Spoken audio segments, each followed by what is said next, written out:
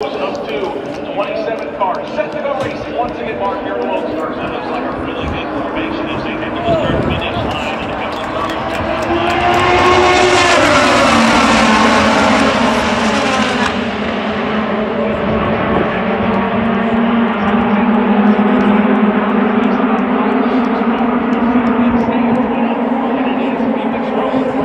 Challenge to the outside by Scott McLaughlin got a pretty good jump off the start, too. Will Power was able to get a work grasp on that third